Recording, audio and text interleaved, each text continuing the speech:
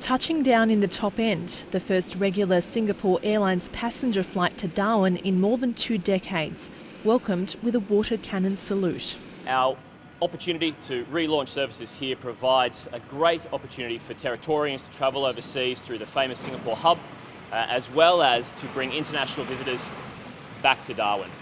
As international tourism ramps up, Singapore Airlines will offer non stop flights between Darwin and Singapore. The service will initially operate once weekly, with the aim of increasing to up to five a week by the end of May.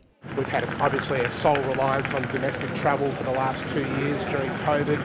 As we start to re-emerge, having a, a partner such as Singapore Airlines coming back through here opens up access um, extraordinarily well. The flights are timed to connect travellers at Singapore's Changi Airport with destinations in Asia, Europe, and the US.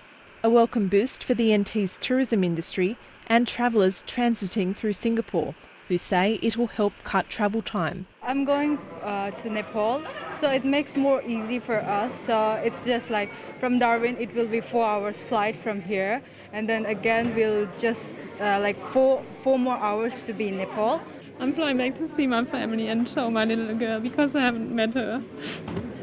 Singapore Airlines service is just one of a number of new international routes announced from Darwin over the past few months, with Qantas operating its flagship direct route to London via Darwin, as well as the airline announcing a new permanent passenger service from Darwin to Dili. The NT government says it hopes the flights will drive the return of high spending tourists and working holidaymakers to the territory. Husni Shams, ABC News.